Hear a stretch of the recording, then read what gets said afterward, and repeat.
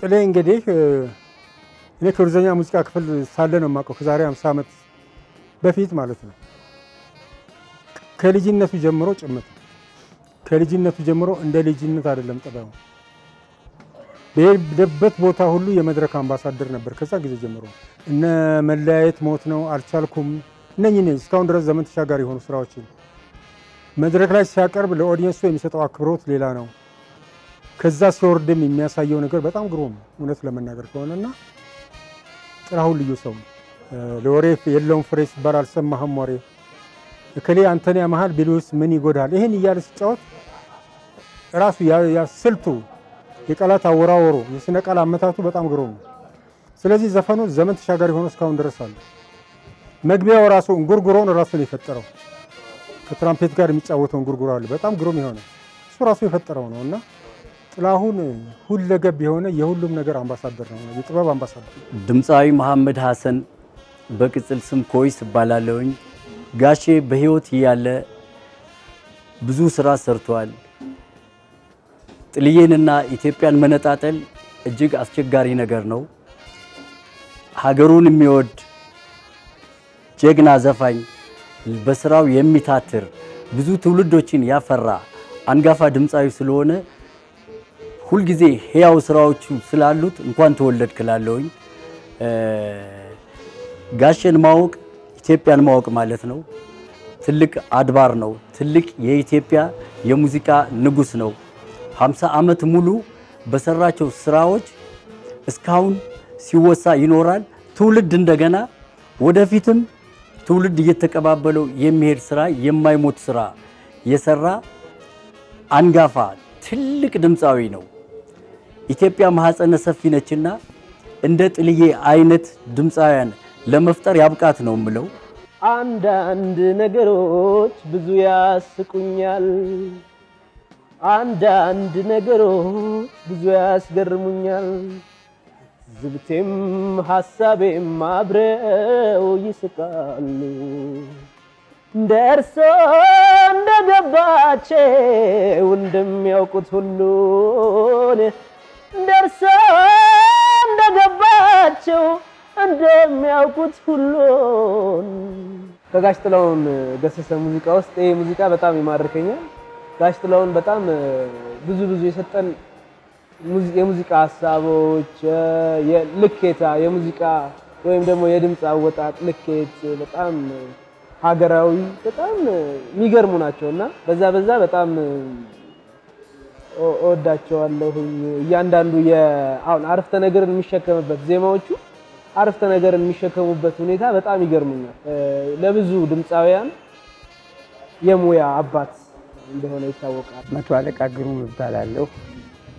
ቀደም ሲል ሚሊተሪ ነበርኩ። ከአንድ 20 ዓመት በኋላ ደግሞ የግጥምና ዜማ ደራሲ ነኝ። በአብዛኛው የግጥም ደራሲ ነኝ። ጥላሁን ገሰሰ አሁን ሰባ ዘጠነኛ ዓመቱ ነው። ጥላሁን እኔ እንደማየው እኔ ከሙያ አኳያ ሳየው እንደው በመቶ ዓመት አንድ ጊዜ ሊፈጠር የሚችል ዩኒክ በቃ የተለየ ሰው ነው። ጥላሁን እተካዋለሁ የምትለውም አይደለም። በሁለት በሶስት ትውልድ ውስጥ ሰውን ሊያዝናና የተፈጠረ ለሙዚቃ የተፈጠረ የሙዚቃ ሰው ነው። ጥላሁን ህያው ነው። ጥላሁን በአካል ይሙት እንጂ በሙያው ህያው ሆኖ ከኢትዮጵያ ሕዝብ ጋራ ከትውልድ ትውልድ እንዲሁ አብሮ በመንፈስ በድምፁ በሙያው አብሮ ሲተላለፍ ይኖራል። ጥላሁን አይሞትም። የጥላሁን ሙያ በህይወት እንዳለ የሚያስቆጥርና አብሮ ከትውልድ ትውልድ እየተሸጋገረ የሚኖር ህያው ነው የሚያደርገው ጥላሁን። እንዴት ናችሁ? ዲበኩሉ ታፈሰ እባላለሁ። የጃኖ ባንድ ድምፃዊ ነኝ። ዛሬ እንግዲህ በጋሽ ጥላሁን ገሰሰ ወይም ዶክተር አርቲስት ጥላሁን ገሰሰ የልደት ቀን ላይና እንዲሁም የመስቀል በዓል ላይ እንገኛለን። በዚህ አጋጣሚ ያው ስለ ጋሽ ጥላሁን ትንሽ ነገር ለመናገር ያህል ነው።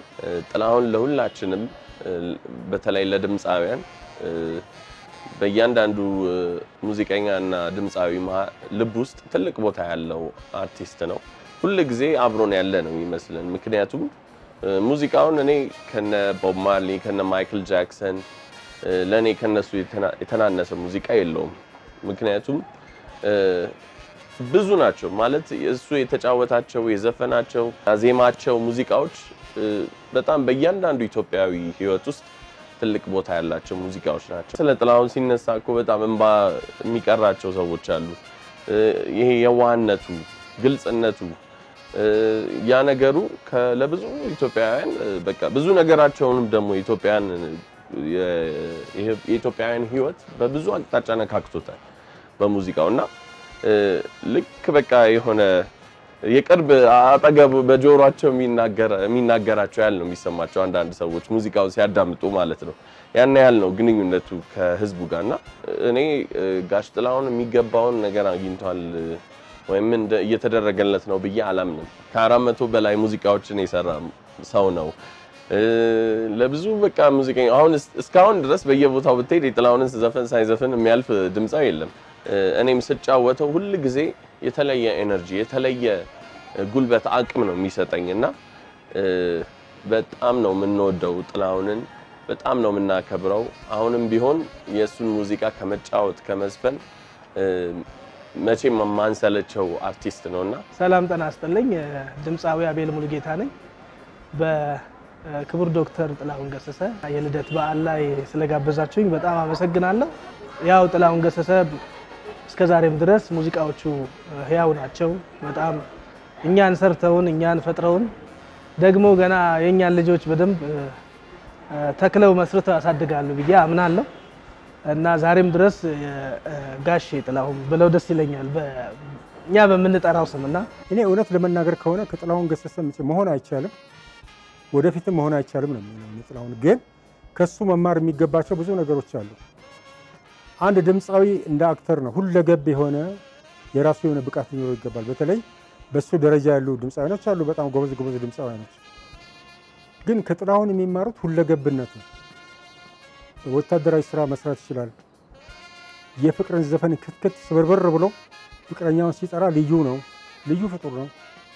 አገራዊ የሆነ ነገር ገበሬውንም ወዛደሩንም ና ስራ ና እረስ እያለ ሲያስተምርም እንደዛው ነው እና የተለያየ ባህሪ ይዞ ሲጫወት ጥላሁን ጥላሁን ነው። እሱን መሆን መምሰል ይቻላል፣ ግን መሆን አይቻልም። ስለዚህ ይሄ እዚህ የአሁኑ ትውልድ ድምፃውያን በተቻለ መጠን ወደ የጥላሁን ፈለግ ተከትለው ቢሄዱ የበለጠ ስራ ይሰራሉ። ጥላሁን ሌላው ነገር ልዩ የሚያደርገው መድረክ ላይ በሚሰራበት ጊዜ dramatic አድርጎ ነው የሚያቀርበው ዘፈኑ። እያንዳንዱ ስነ ቃል የራሱ facial expression ይሰጣል። በአይኑ፣ በጉንጩ፣ በምኑ በሰውነት ሁሉ ታዳሚውን በጣም ይስባል። በጣም ነው የሚስበው። በቁጥጥር ስር የማድረግ ብቃት አለው እና የጋሼን ነገር ዘርዝሮ ማውራት በጣም ይከብዳል። መሪዎች ያደነቁት፣ አዛውንቶች የወደዱት፣ ወጣቶች የወደዱት ብዙ ሀገር ለሀገሩ የሰራ ጀግና ዘፋኝ ነው እና ጥልዬን መውደድ ማለት ዘፈኖቹን መውደድ ነው፣ ስራዎቹን መውደድ ነው። በስራው አሳምኖናል። እድሜ ልክ እንድናፈቅረው እንድንወደው ያደረገን ዘፋኝ ነው። የማስታውሰው እንዳውም ከኢሰፓ ወደ ኢሰፓ ሲዛወር ቤተ መንግስት አዳራሽ እድለኛ ሆኜ አብሬ ሰርቻለሁ።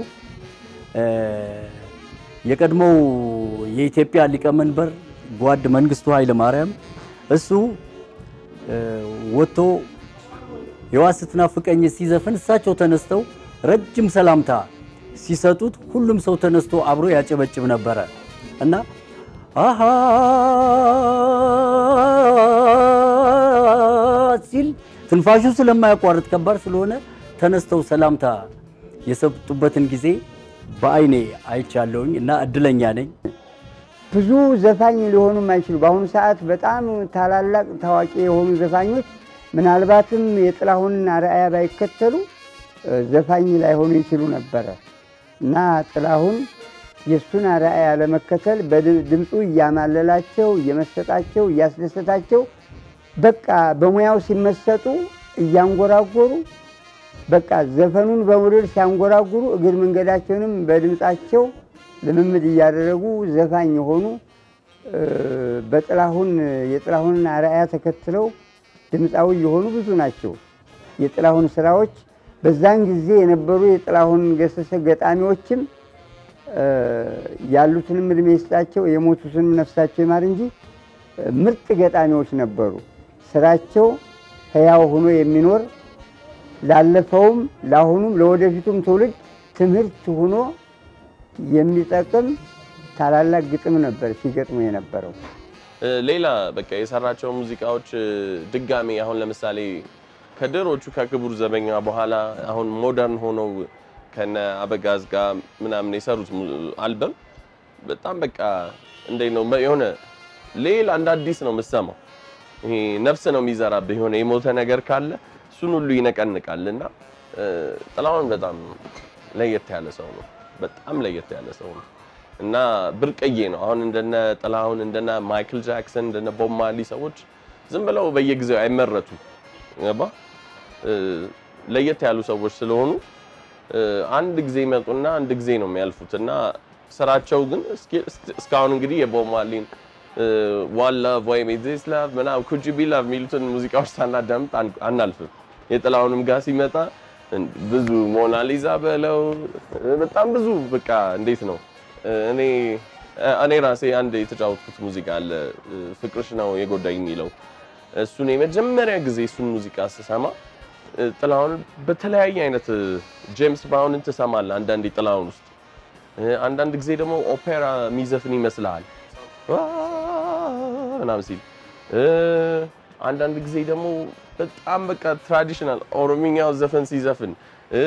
በጣም በቃ እንዴት ብዬ ልግለጽልህ? እና ይህን ፍቅርሽን የጎዳኝ የሚለውን ሙዚቃ ስሰማው መጀመሪያ ሌላ ዓለም ደግሞ ከተተኝ ከለመድኳቸው ከምንሰማቸው የጥላሁን ሙዚቃዎች ውጪ ማለት ነው። እና በቃ ይሄን ሙዚቃ አዳምጨው ብቻ አይበቃኝም፣ ሰው መዝፈን አለብኝ በሚለው ተስማምተን እንደገና ትንሹ ሪአሬንጅ አድርገ ነው ነው የተጫወት ነው እና በጣም ትልቅ ክብር ይሰማኛል ይህ ሙዚቃ በመጫወት የራሱ ማለት ነው።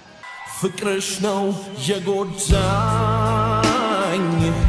ፍቅርሽ ነው የጎዳኝ ፍቅርሽ ነው የጎዳኝ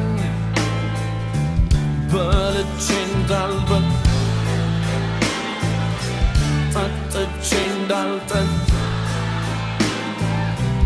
ያረገኝ ፍቅርሽ ነው Machata, machata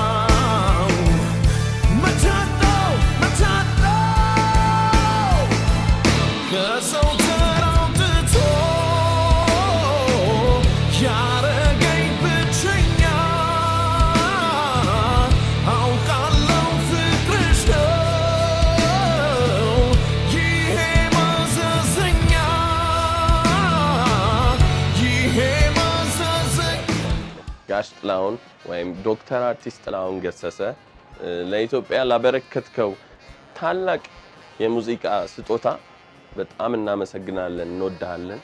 መልካም ልደት። እንደገና ደግሞ ለመላው የኢትዮጵያ ሕዝብ መልካም የመስቀል በዓል እንዲሆንላችሁ እመኛለሁ።